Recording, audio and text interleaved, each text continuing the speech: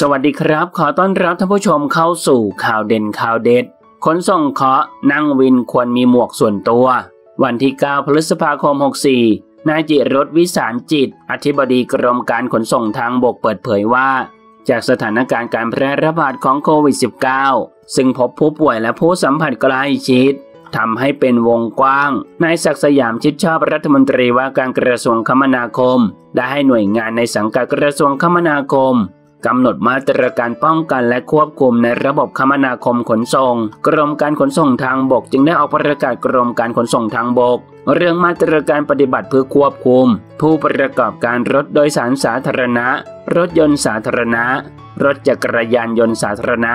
สถานีขนส่งผู้โดยสาร พนักงานขับรถ ผู้บริการและผู้โดยสาร เพื่อความปลอดภัยของผู้ให้บริการขนส่งสาธารณะ และสร้างความเชื่อมั่นให้แก่ผู้โดยสาร ที่ต้องการใช้บริการเดินทางโดยสารรถสาธารณะทุกประเภท โดยยึดมาตรการทางด้านสาธารณสุข DMHTTA อย่างเคร่งครัด และเพื่อให้เหมาะสมกับสถานการณ์ที่ต้องเพิ่มความระมัดระวังขั้นสูงสุด ได้กำหนดการจัดที่นั่งของรถโดยสารประจำทาง และรถโดยสารไม่ประจำทาง ให้นั่งหนึ่งที่นั่งเว้นหนึ่งที่นั่ง หรือให้นั่งสองที่นั่งสำหรับผู้โดยสารที่มาด้วยกัน นั่งติดกันได้ ซึ่งต้องมีจำนวนผู้โดยสารไม่เกินร้อยละ 70 ของจำนวนที่นั่งทั้งหมด หรือให้เหมาะสมตามประเภทของพาหนะสำหรับการเดินรถโดยสารสาธารณะในเขตเมือง ขอให้ผู้ประกอบการขนส่งปรับลดการให้บริการในช่วงเวลา 23 นาฬิกาถึง 4 นาฬิกา หรือช่วงระยะเวลาตามประกาศจังหวัดกำหนด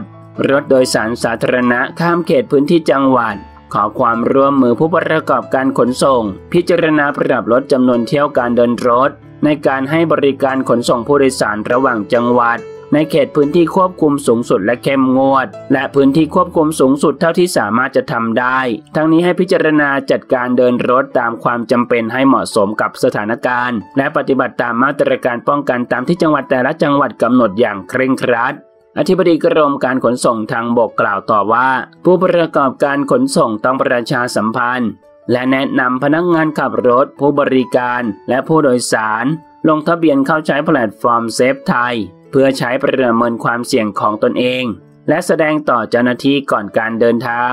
พร้อมควบคุมกำกับดูแลผู้โดยสารให้ลงทะเบียน check in check out ไทยชนะ